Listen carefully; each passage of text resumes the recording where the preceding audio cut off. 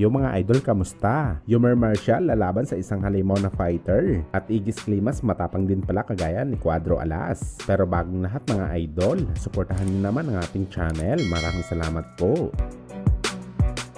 So matapos nga magkita sa wakas, ang WBO Bantamweight World Champion na si General Cuadro Alas Casimero at ang Vatican Manager na si Igis Klima sa US para pag-usapan ng mga bagay-bagay para sa mga susunod na mga big fights ni Cuadro Alas kung saan marami ang mga Pinoy, lalo na ang mga avid fans ni Casimero na natuwa sa balita na to. Naniniwala kasi sila na magiging malaki ang impact ni Igis Klima sa Pinoy World Champion dahil malawak ang connection nito bilang manager. Marami na kasi ito na hawakan na magagaling na fighter sa boxing sport. Fights. At kabilang nga dito sina Vasily Lomachenko na dating pound for pound boxer at unified heavyweight world champion na si Alexander Osek. Kaya malamang maganda ang future na naghihintay kay Cuadro Alas. Basta patuloy lang ito magpapamalas ng bagsik sa kanyang mga laban. Bagamat hindi lang pala isang bastang manager si Igis Klima sa kanyang mga alaga. Tagapagtanggol din pala siya sa kanyang mga fighters sa mga fake news na lumalabas sa social media. Ayon kasi sa bagong Twitter post ni Igis Klimas, e minura at binalibag nito ng gusto ang sports sports writer ng ESPN na si Mike Finger. Saan nilabas nito na news sa social media na nakareceive daw siya ng balita na binigyan daw ng permission si Alexander Usek ng Ukrainian sports minister na umalis sa Ukraine para ipatuloy ang kanyang training sa rematch na bakbakan nila ng dating kampiyon na si Anthony Joshua kung saan dito na nga nagalit si Klimas at pinagmumura itong si Finger. Natigilan na daw nito mag-post ng mga fake news tungkol sa kanyang mga fighters at lubayanan nito ang lahat ng kanyang mga alaga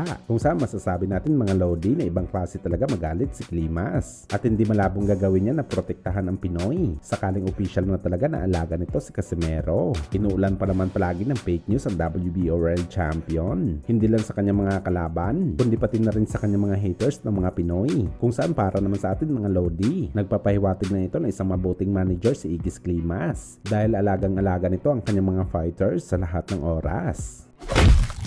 Samantala sa kabilang banda naman mga idol, Yumer Marshall, mapapasabak na naman sa laban sa pro. Kung saan matunog ngayon ang balita sa boxing world. Nasusubukan ulit ng lumaban sa pro ng Olympic bronze medalist na si Marshall at mapapalaban siya sa mala basketball player na si Isaiah Hart na posibleng gaganapin sa Las Vegas, Nevada sa April 9 nitong taong kasalukuyan. Ang American fighter na si Isaiah Hart ay may record na anim na panalo, may dalawang talo, may isang draw at apat dito ang nakuha niya sa knockout sa kanyang kartada sa back bakbakan. Malayo ito sa experience ni Marshall sa professional boxing na may isang laban pa lang. Malayo din ang agwat ni Hart sa tangkad ni Marshall. 6'2 lang naman kasi ang taas nito. Nakadalasan sa ganitong height ng isang fighter, lumalaban na sa isang heavyweight division. Pero gayon pa man mga idol, naniniwala pa rin tayo na lamang ang Pinoy. Kung basta ganang mukha ang pag-uusapan dahil isa itong Olympian. At kung lakas naman ang pagbabasihan, eh may ipagmamalaki naman si Marshall. 90% kasi sa kinalaban nito wasak ang muka sa bakbak bakbakan.